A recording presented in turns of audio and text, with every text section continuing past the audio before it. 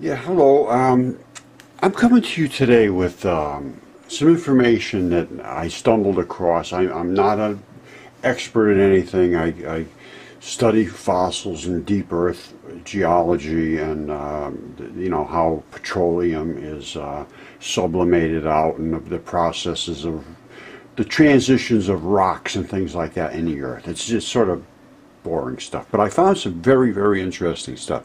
And as a result of that, I started to investigate how the earth is creating these things and what these things are and so forth. And what you see here are blue holes. And these blue holes are all over the earth.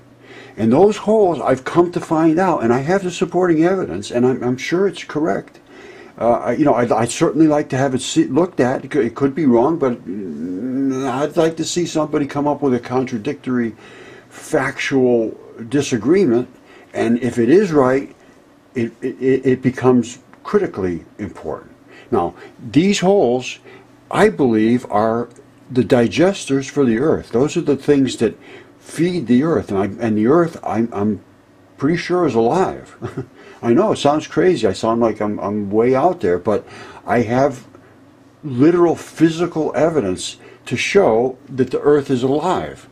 And these holes digest food. I'm going to show you uh, uh, um, dives where they go right through, and it's identical to uh, uh, you know a digestive system. Now, these are what's happening in Florida and Russia. These are those blue holes dying. Now, these were underneath the tundra and they weren't seen, but they still are the digesters. Now, as the tundra recedes, it's just caving in because the digesters are dying. Methane gas is coming up from the decomposition of the earth, of the life of the earth, is what I'm saying. Now, this may not be, uh, you know, don't panic. I mean, I mean nobody's going to even pay attention probably, but certainly you wouldn't panic about this because we don't know. We don't know what's going on there.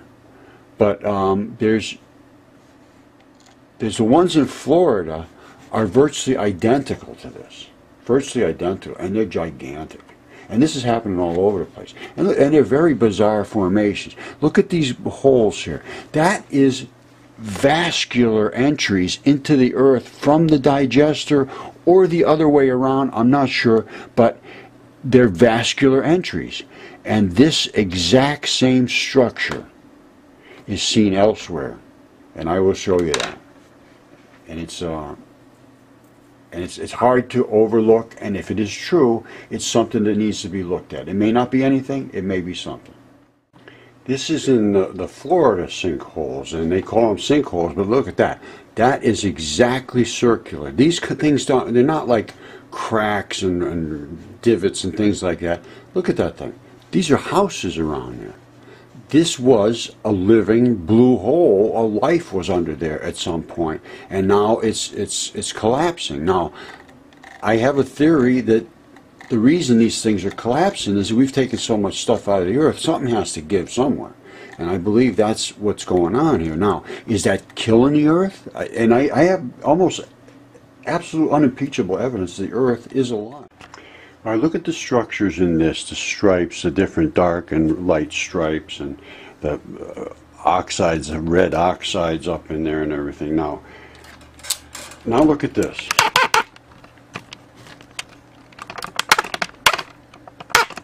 This is the same material, and this is on Mars. And look at what's in that material. You see what's up there, that space crab? That's coming out from this rock up here.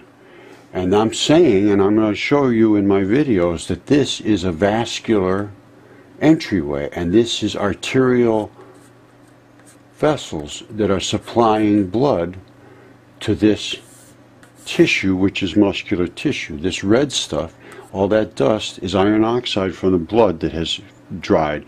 Mars is dead, and you should see the pictures in here. Go to this site, Journey to the Mars of uh, to Journey to the surface of the Mars. It will blow you away. They have all kinds of pictures of pyramids and skulls, and there's absolutely no question it was alive. I think it was is dead now. Anyway, this is my statements, and we need to look at what we have here on Mother Earth because we don't want to go this way. So that's the case. All right, you've seen the spacecraft. My statement is, is that if this hole was tipped sideways and all of this eroded away from that hole, you would still see these vascularization tubes sticking out, and that's what's happened in that crab. All right, this is a little concerning. 20 baby craters just started popping up near the, uh, the giant craters in Siberia. This is the area in Siberia that's um, that's having this issue right now. All right, this is an article by uh, Kirby, very very nicely done, and she is exploring in a dive in a blue hole, and she says, "I'd imagine that I was a tiny mi- microbe moving through the gut of some impossibly large and fantastic beast," because she really literally was. And then she goes on to thinking of the specific topology of the blue hole uh, specific topology of the human gastrointestinal system, the mouth to the anus. Now, I have all of this stuff documented, and I have all of this stuff on other videos. I have nine videos that I'm explaining this, and I'm explaining the foliations of the earth, the fabric of the earth. The earth is alive, and, and, and there's virtually no question about it. So, something's got to be looked at. This is a deep hole, a deep blue hole dive by Jonathan Bird uh, Jonathan Bird's Blue World, very, very good, very good guy, and excellent on um, public TV. And here he goes. Listen carefully. The bottom looks like it's sand, but it's actually a deep layer of silt. While Tim hovers high above the bottom to keep from kicking up silt, I perform a little experiment. Listen Down on the bottom, I plunge my arm into This the is our mother up to my shoulder, and it's even deeper than that. This is a layer of decomposing leaves and other organic stuff. The decomposition creates hydrogen sulfide, a deadly gas that smells like rotting eggs. The water is saturated with hydrogen sulfide, and I can smell it in the water that seeps around the edge of my mask. We all know that smell. All right, this is the final part I'm going to show you Blue about. hole connects through a vast labyrinth of That caves to the a digestive system.